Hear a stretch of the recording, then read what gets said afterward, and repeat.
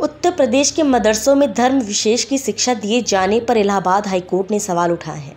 High court ने इस मामले में केंद्र और यूपी सरकार को नोटिस जारी किया है और सवाल किया है कि जो मदरसे सरकारी पैसों से चलाए जाते हैं क्या उनमें किसी एक धर्म विशेष की शिक्षा दी जाती है?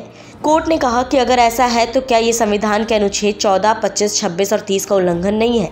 इलाहाबाद कोर्ट ने मदरसों में से एक धर्म विशेष की शिक्षा दिए जाने पर केंद्र और राज्य सरकार को नोटिस जारी कर जवाब तलब किया है। कोर्ट ने सरकार से पूछा है सरकारी मदद से चलने वाले मदरसों में धार्मिक शिक्षा कैसे प्रदान की जा सकती है? हाईकोर्ट ने केंद्र राज्य सरकार को इस सिलसिले में जवाब दाखिल करने के लिए छह हफ्तों का वक्त की मांगा है। इसके लिए कोर्ट केंद्र के अल्पसंख्यक विभाग के सचिव, यूपी अल्पसंख्यक कल्याण के प्रिंसिपल सेक्रेटरी से जवाब दाखिल करने को कहा गया है। हाईकोर्ट ने जौनपुर के मदरसा शिक्षक एजाज अहमद की याचिका पर सुनवाई करते हुए ये टिप्पणी की है और केंद्र व राज्य के सरकारों से तलब जवाब मांगा है। एजाज अहमद जौनपुर के सुदनीपुर इलाके में संचालित होने वाले मदरसा समतानिया इस्लामिया शिक्षक हैं। Bureau report team, top story news.